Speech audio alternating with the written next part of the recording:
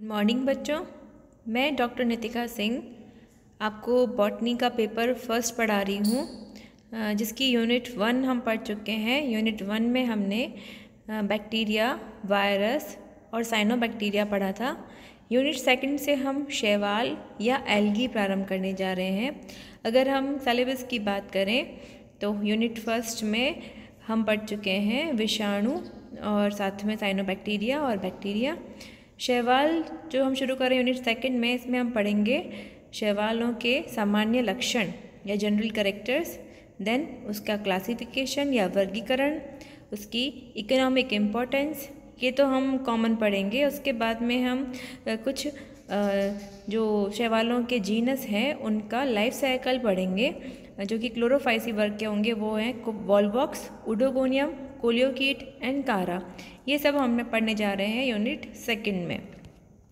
English में भी वही रहेगा general characters classification and economic importance ये then important features of life cycle life history of Chlorophyceae Volvox Coleochaete and Chara अगर हम शैवाल की बात करें तो शैवाल को हम इंग्लिश में एल्गी कहते हैं।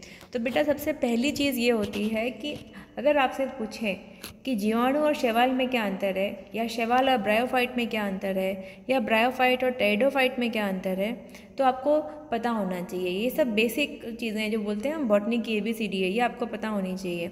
तो अगर हम डिफ्रेंशिएट करें कि शैवाल में ऐसे कौन कौन से विशेष लक्षण हैं जो कि इसको अन्य जो ऑर्गेनिज्म है, उनसे अलग करता है तो वो हम पढ़ेंगे तो ये दस पॉइंट्स हैं जो शैवालों के कुछ विशेष लक्षण है। विशेष लक्षण को हम इंग्लिश में बोलते हैं सेलियंट फीचर्स बहुत शॉर्ट में मैंने आपको बताया है। अगर आप सिंगल सिंगल एक एक शब्द याद कर लेंगे तो आपको ये विशेष लक्षण याद हो जाएँगे।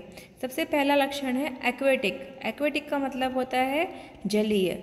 समस्त शैवाल जलीय होते हैं, जल में पाए जाते हैं। चाहे वो स्वच्छ जल में मिले, चाहे वो लवणीय जल में मिले, चाहे वो मॉइस्चर में मिले गीली दीवारों पर मिले, लेकिन वे जहाँ पाए जाएँगे जहाँ पे जल पाया जाएगा।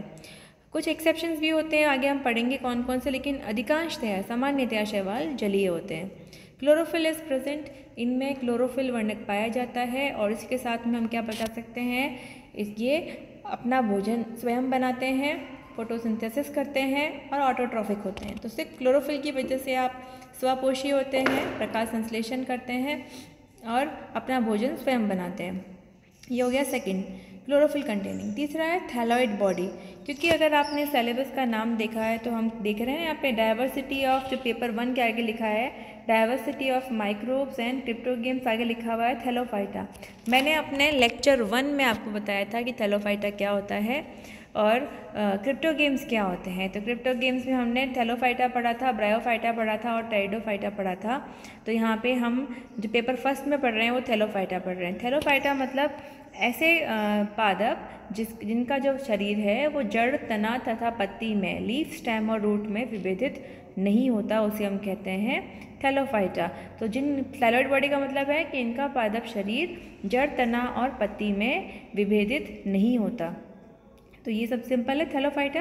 तो थैलोफाइटा में क्या क्या आते हैं? एल्गी और फंजाई, मैं बता चुकी हूँ आपको ऑलरेडी तो अभी जो हम पढ़ने जा रहे हैं, वो है एल्गी। नो वेस्कुलर सिस्टम इसमें किसी प्रकार का संवहन तंत्र नहीं पाया जाता। नो एम्ब्रियो इसमें भ्रूण नहीं पाया जाता। अगर हम वेस्कुलर सिस्टम की बात करें तो सबसे मेन जो अंतर है शेवाल में और टेरिडोफाइट में कि उसमें वेस्कुलर सिस्टम प्रेजेंट होता है टेरिडोफाइट में। और इसमें शैवाल में नहीं पाया जाता। नो एम्ब्रियो ब्रायोफाइटा में और शैवाल में क्या अंतर है? ब्रायोफाइटा में एम्ब्रियो पाया जाता है, जबकि शैवाल में एम्ब्रियो नहीं पाया जाता। Cell wall is made up of cellulose इसकी जो कोशिका भित्ति है, वो सेल्यूलोज की बनी होती है। Stored food material is starch संग्रहित भोज्य पदार्थ स्टार्च होता है। They can be unicellular to multi cellular ये एक कोशिकीय से बहुकोशिकीय हो सकती हैं। Sex organs unicellular without jacket of sterile cells इसमें जो लैग, जो इसके लैगिक जनन के जननांग होते हैं, वे सामान्यतया एक कोशिकीय होते हैं और इसमें, इसके ऊपर एक बंदे कोशिकाओं की परत नहीं पाई जाती, ओके? अगर हम ब्रायोफाइटा पढ़ेंगे तो वहाँ आप पढ़ चुके होंगे ऑलरेडी तो आप देखते हैं उसमें ग्रीवा कोशिका, ग्रीवा नाल कोशिका तो जो ऊपर एक बंदे कोशिकाओं की परत पाई जाती है, जिसको हम वेंटर सेल्स एंड ग्रीवा नेक नेक सेल्स कहते हैं। Then distinct alternation of generation यहाँ पे स्पष्ट पीढ़ी एकांतरण पाया जाता है। पीढ़ी एकांतरण का मतलब क्या होता है कि इसमें अगुणित तथा द्विगुणित दोनों प्रकार की पीढ़ी पाई जाती है। अगर हम शैवाल की बात करें तो इसमें बहुत प्रकार के लाइफ साइकिल पाए जाते हैं। आगे हम बताएँगे कौन कौन से इसमें लाइफ साइकिल होते हैं। अभी आपको इतना याद रखना है कि इसमें स्पष्ट पीढ़ी एकांतरण पाया जाता है। युग्मक बनते हैं शैवाल स्वयं अगुणित होती है सामान्यतया। उससे युग्मक बनते हैं, युग्मकों के संलयन से युग्मनज या फिर जाइगॉड बनता है, जो कि डिप्लॉयड या द्विगुणित होता है। और जाइगॉड से वापस फिर उसमें मियोसिस या अर्धसूत्री विभाजन के द्वारा पुनः शैवाल का निर्माण होता है। अब हम पढ़ेंगे जो आपका पहला टॉपिक है यूनिट टू का जनरल करेक्टर्स ऑफ़ एल्गी शवालों के सामान्य लक्षण। शवालों के सामान्य लक्षण में हम जो जो पॉइंट कवर करने वाले हैं, वो है पहला हैबिटेट दूसरा हैबिटेट का मतलब आप समझ चुके होंगे, होता है आवास, कहाँ पाया जाता है। दूसरा है थैलस ऑर्गेनाइजेशन तीसरा है सेल स्ट्रक्चर चौथा है रिप्रोडक्शन या जनन और पांचवा है लाइफ साइकिल या जीवन चक्र। ये पाँचों हम कवर करेंगे एक एक लेक्चर में क्योंकि इसमें ये काफ़ी बड़े टॉपिक हैं और जिसमें सब पे क्वेश्चन भी बनता है तो ये आपको बहुत अच्छे तरीके से याद करना है। क्योंकि अगर आपने ये अच्छे से पढ़ लिया तो आप शैवालों से परिचित हो पाएँगे और आगे जो आप विभिन्न प्रकार की शैवालें पढ़ने वाले हैं एग्ज़ाम्पल के रूप में वो आप आसानी से याद कर पाएँगे। क्योंकि अगर आपको अंतर ही नहीं पता है कि शैवाल दिखती कैसी है विभिन्न प्रकार की जो आ, उन उनके अंदर उनके उनका आवाज़ कैसा होगा, उनका थैलस ऑर्गेनाइजेशन कैसा है तो फिर आप कैसे उनको डिफ्रेंशिएट कर पाएँगे या कैसे उनको विभेदित करेंगे? तो ये बहुत इंपॉर्टेंट टॉपिक है। अगर आपने स्टार्टिंग में ढंग से पढ़ लिया तो आगे आपको पढ़ना आसान रहेगा। तो आज जो हम पढ़ने जा रहे हैं, वो है हैबिटेट या आवास। शैवालों का आवास क्या होता है? मैं आपको ऑलरेडी बता चुकी हूँ कि शैवाल सामान्यतया जलीय आवास में पाए जाते हैं। अब जल में भी वे जब मुख्यतया जलीय होते हैं, परंतु उसके अतिरिक्त एक्सेप्शन भी है, बहुत सारे अलग, अन्य आवास भी होते हैं तो आवास के आधार पर शैवानों को तीन कैटेगरी में बांटा गया है। पहला है एक्वेटिक या जलीय आवास, दूसरा है टेरेस्ट्रियल टेरेस्ट्रियल या स्थलीय आवास, तीसरा है एल्गी ऑफ़ अनयूजुअल हैबिटेट्स मतलब असामान्य आवास। कौन सा है? पहला जलीय, दूसरा स्थलीय और तीसरा है असामान्य आवास मतलब इसमें आपको कुछ नॉर्मल से हटके कुछ इनका आवास रहेगा। हम पहली बात अगर आपने इकोलॉजी पढ़ी है, पारिस्थितिकी पढ़ी है तो आवास का मतलब अपन अगर मनुष्यों के संदर्भ में बोलेंगे तो हम कहते हैं घर, पर एलगी में तो एलगी का कोई घर नहीं होता। तो यहाँ पे हैबिटेट का मतलब है कि जहाँ उस पर्टिकुलर ऑर्गेनिज्म के पाए जाने की संभावना संभावना अधिकांशतया रहती है, उसको हम हैबिटेट कहते हैं ओके जहाँ पे उसके पाए जाने की संभावना अधिकांशतया रहती है, उस पर्टिकुलर एरिया को हैबिटेट कहते हैं। तो यहाँ पे हैबिटेट आपको मैंने क्लियर कर दिया है। पहला आवास हम लेते हैं शैवाल का, जो कि है एक्वेटिक आवास। एक्वेटिक की हम बात करें तो एक्वेटिक जो एल्गी है, जल में पाई जाने वाली एल्गी नाम से लग रहा है कि जल में मिलेंगी। तो जल में पाई जाने वाली एल्गी भी दो प्रकार की आवास में, दो प्रकार की हो सकती है। पहली होती है फ्रेश वाटर जो कि स्वच्छ जल में या मीठे पानी में पाई जाती है। दूसरा होता है मरीन वाटर जो कि लवणीय जल में या समुद्री जल में पाई जाती है। ओके तो first is fresh water algae दूसरी मरीन वाटर एल्गी स्वच्छ वाटर स्वच्छ जल की हम बात करें तो ये भी दो प्रकार का होता है। एक होता है रनिंग रनिंग मतलब जो बहता हुआ पानी होता है, जैसे नदी का पानी, झरने का पानी, मीठा पानी है, स्वच्छ जल है, लेकिन वो रनिंग है। तो वहाँ जो पाई जाती है, उसे हम कहते हैं रनिंग वाटर एल्गी उसके एग्ज़ाम्पल है ओडोगोनियम एंड कैरा मैंने बहुत एक एक दो दो सिंपल एग्ज़ाम्पल दिए हैं। आप केवल एक याद कर लीजिए, काफ़ी है। ओडोगोनियम एंड कैरा ये आपके सिलेबस में भी है आप डिटेल में पढ़ेंगे तो इनके नाम आपको याद हो जाएँगे। पहली बार आप सुनेंगे तो आपको नाम याद करने में मुश्किल आएगी, लेकिन जब आप दो तीन बार इस नाम को सुनेंगे, इनका लाइफ साइकिल पढ़ेंगे तो आपको सब याद हो जाएगा। तो ये है ओडोगोनियम एंड कैरा। दूसरा है स्टेगनेंट वाटर या स्थिर जल। स्थिर जल में हम पढ़ेंगे जो एग्जाम्पल्स हैं, वो हैं वॉलवॉक्स और क्लेमाइडोमोनास। तो हम अंतर क्या है बेटा कि स्थिर जल जो होता है, उसका पानी प्रवाहित नहीं होता, जैसे कुएँ का पानी, झील का पानी, तालाबों का पानी जो कि बहता नहीं है, उसे हम कहते हैं स्थिर जल, जबकि रनिंग वाटर होता है जो कि बहता रहता है। अब रनिंग वाटर में पाए जाने वाले शवालों की खासियत होती है कि वो आधार से जुड़ी हुई होती है, वरना वो पानी के साथ बह जाएगी। सिंपल है, एक सिंपल सा लॉजिक है कि यदि वो पानी रनिंग है और वो शैवाल उसमें तैर रही है तो वो बह के निकल जाएगी, लेकिन जो अगर वो नीचे कहीं, आधार पे चिपकी हुई है तो वो वहीं रहेगी। तो रनिंग वाटर की जो शैवाल होती है, वो सामान्यतः आधार से चिपकी होती है तो ओडोगोनियम कह रहा है, इसका एग्ज़ाम्पल है। नेक्स्ट है marine water marine water water में आपका कोई एक्स्ट्रा स्टेगनेंट और वो नहीं, क्योंकि मरीन वाटर मतलब महासागर का पानी, सागर का पानी, वो एक ही प्रकार का होता है। तो उसमें पाई जाती है एक्टोकार्पस सार्गेसम पॉलीसाइफोनिया ये तीनों भी हम पढ़ने वाले हैं, आपके सिलेबस में है एक्टोकार्पस सार्गेसम और पॉलीसाइफोनिया अब क्योंकि हम जब शैवालों की बात कर रहे हैं तो यहाँ पे हमको फाइटो प्लैंकटोन या पादप प्लवक पढ़ना बहुत इंपॉर्टेंट है। लास्ट लेक्चर जो हमारा साइनो बैक्टीरिया का था, जब हम नॉस्टॉक पढ़ रहे थे तो उससे पहले मैंने आपको बताया था कि वाटर ब्लूम क्या होता है या पादप प्लवक क्या होता है। ये बहुत सारे नाम है क्या क्या ये आपस में संबंधित है। तो यूट्रॉफिफिकेशन जिसको हम कहते हैं, एक है फाइटो या पादप प्लवक और एक है वाटर ब्लूम इनका आपस में संबंध है। देखो बेटा, होता क्या है कि शैवाल जब अत्यधिक वृद्धि करती है तो उसको हम कहते हैं फाइटोप्लैंक्टन प्लैंकटन क्या होता है? प्लैंकटन किसी भी जलाशय के ऊपर पाए जाने वाली लिविंग ऑर्गेनिज्म की एक परत होती है, जिसमें कि कुछ प्रोटोजोआ भी होते हैं, जैसे एमीबा हो गया पैरामोशियम हो गया, उसके अलावा एक कोशिकीय शैवाल। ये सब बहुत अत्यधिक वृद्धि करके एक मोटी परत बनाते हैं, इसको प्लैंकटन कहते हैं। फाइटोप्लैंक्टन मतलब प्लैंक्टन का जो पादप वाला भाग होता है, शैवाल वाला भाग होता है, जो प्रकाश संश्लेषण करता है, उसे फाइटोप्लैंक्टन कहते हैं। फाइटोप्लैंक्टन अगर सामान्य हो जैसे महासागर में होता है तो वो वो बल्कि बेनिफिशियल होता है। क्यों? क्योंकि इतना सारा उत्पत्ति हो रही है शैवाल की, जितनी ज़्यादा शैवाल बढ़ेगी, उतना अधिक प्रकाश संश्लेषण होगा। जितना अधिक प्रकाश संश्लेषण होगा, उतना एनर्जी का यूटिलाइजेशन होगा। जो समुद्री जीवन को खाद, खाद्यान्न प्रदान होगा। तब तक तो ठीक है, लेकिन जब ये फाइटोप्लैंक्टन अचानक से यूट्रॉफिफिकेशन में कैसे कन्वर्ट हो जाता है तो उसका कारण है मनुष्य। मनुष्य ने क्या किया? सामान्यतया ये उगरे थे, महासागर में भी थे, सब जगह थे, कोई परेशानी नहीं थी। ठीक है, कभी जहाज़ फंस जाता था, ये सब प्रॉब्लम थी, लेकिन कोई वाटर पोल्यूशन नहीं होता था। लेकिन अब क्या हो गया है? सामान्य छोटे से तालाब में, जहाँ पे हम, हमारा डोमेस्टिक वाटर बर्तन धोया हुआ पानी या जो भी हम कपड़े धोते हैं, वो सब जो पॉल्यूटेड वाटर है सीवेज जो उसको हम बोलते हैं, वो सब पानी जाके कहाँ जब मिलता है जलाशय में। जलाशय में मिलता है तो जो ये शैवाल है, जो वहाँ ग्रो कर रही है तो इनको न्यूट्रिएंट्स मिल जाते हैं, वहाँ पे खाद मिल जाती है, और ये बहुत जो प्लैंकटन है, वो बहुत अत्यधिक वृद्धि कर लेता है, जितनी वृद्धि इसको करनी चाहिए।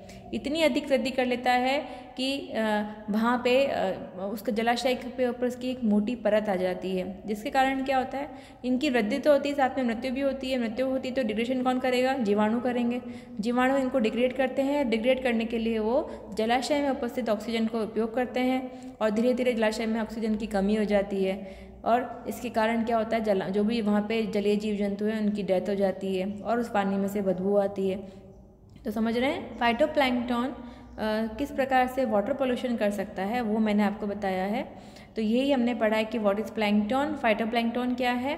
कुछ एग्ज़ाम्पल देते हैं हम आपको एल्गा के। बेटा, हमने साइनोबैक्टीरिया या नील हरित शैवाल या ब्लू ग्रीन एल्गी जो मैं बोल रही थी, उसको हम एल्गी में भी पढ़ेंगे। वहाँ हमने डिटेल में पढ़ा था, यहाँ हम उसको क्लासिफिकेशन में पढ़ेंगे।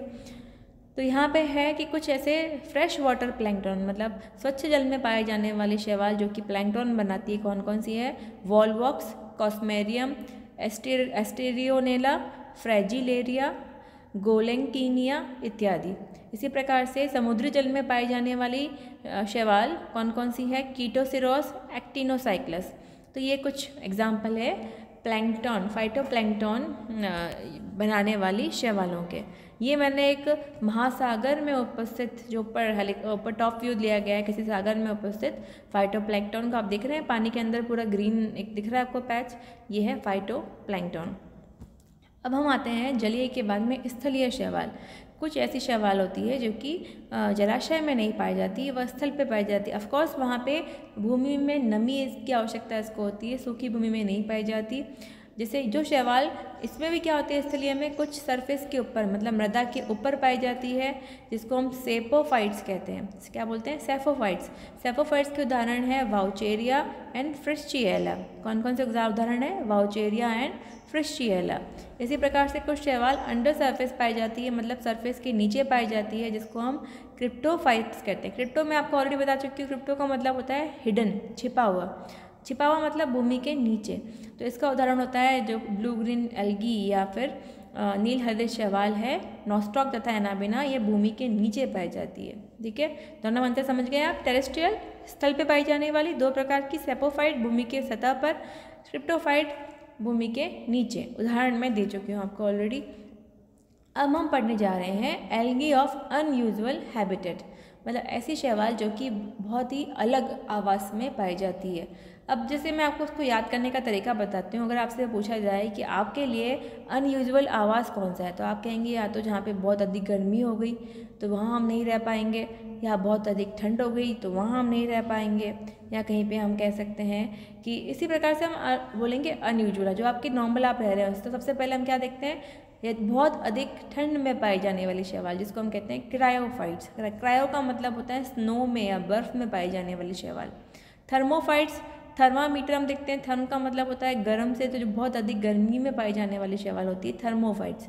हेलोफाइट्स हेलोफाइट्स में आपको अगर पढ़ा है आपने, हेलोफाइट्स का मतलब होते हैं लवणीय पादप, जो कि लवण युक्त जगह पे पाए जाते हैं। लवण मतलब महासागर वाला लवण नहीं है। यहाँ पे लवण का मतलब है बहुत अधिक लवण की मात्रा, जो कहाँ पाई जाती है, जो खारे पानी की झीलें होती हैं, वहाँ पाई जाती है। तो हेलोफाइट्स मतलब खारे पानी की झीलों में पाई जाने वाली शैवाल। एपीफाइट्स। एपी मतलब किसी पौधे के ऊपर पाए जाने वाले शैवाल। एपीजोइक। जोइक का मतलब होता है जूलॉजी से है तो किसी जंतु जंतु के ऊपर पाए जाने, सतह पे पाए जाने वाले शैवाल। एंडोजोइक। एपी का मतलब सतह, एंडो मतलब अंदर। किसी जंतु के अंदर पाए जाने वाले शैवाल एंडोजोइक। लिथोफाइटिक। देखो लिथोस्फीयर आप जानते हो, लिथोस्फीयर का मतलब होता है चट्टाने, नग्न चट्टाने, अगर आपने इकोलॉजी में पढ़ा है तो।